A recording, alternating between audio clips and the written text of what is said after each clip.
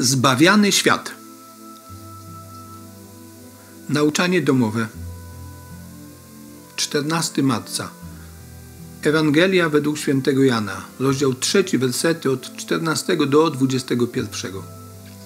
Jezus powiedział do Nikodema: Jak Mojżesz wywyższył węża na pustyni, tak potrzeba, aby wywyższono syna człowieczego, aby każdy, kto w niego wierzy, miał życie wieczne.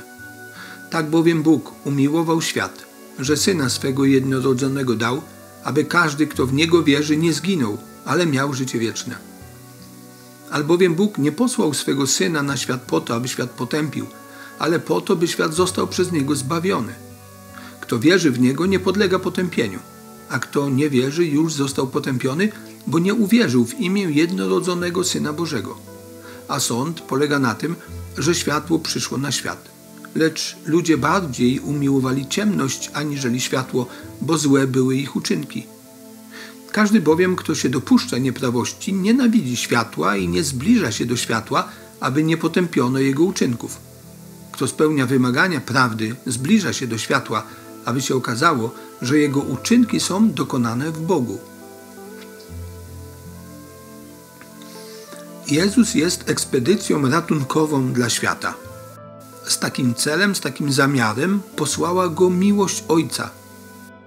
Taką motywację nosił w swoim synowskim sercu, kiedy przychodził do nas i mieszkał pośród nas i przebywa pośród nas. Jezus więc jest ratunkiem dla świata. Właśnie tego, który oglądamy w telewizji, tego, który bluzga z internetu, tego, który nie chce nas słuchać, gdy mówimy o wierze, tego, który wcisnął się w struktury Kościoła, tego, który kaleczy młodych i niszczy niewinnych, tego, który paskudnie nas kusi.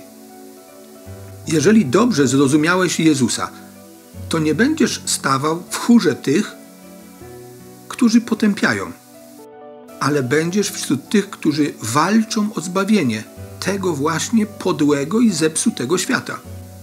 Nie zgadzamy się z tym światem w przeciwnym wypadku ekspedycja ratunkowa byłaby bezsensowna, gdybyśmy uważali, no wszystko jest dobrze, wszystko jest w porządku, nic przecież nie trzeba zmieniać. Nie zgadzamy się z tym światem, tak jak nie zgadzał się Jezus. Nie przyznajemy racji temu światu, tak jak Jezus mu nie przyznawał.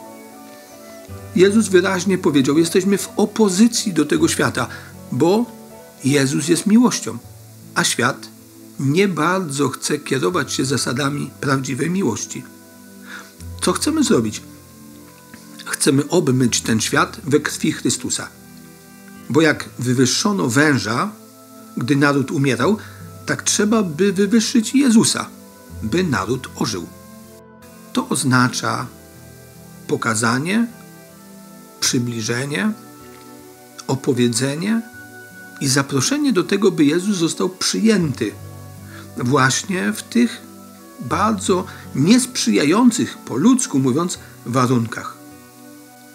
Więc zbliżaj się do światła, zbliżaj się do Jezusa. Nie ucz się metod ciemności, potępiania i dyskwalifikowania. Im bardziej będziemy przy świetle, tym nasze serce będzie coraz bardziej rozjaśnione. Będziemy też zdolni do wykonywania czynów, które znajdziemy w Bogu. A w końcu będziemy dostrzegać, że właśnie ci ludzie z tego świata, tak zagubieni, tak poranieni, tak uwikłani w grzech, nawracają się, zostają wyrwani z tego świata i stają się tymi, którzy zmierzają do światła, do Jezusa. Ekspedycja ratunkowa przynosi skutki, przynosi owoc. Jest skuteczna.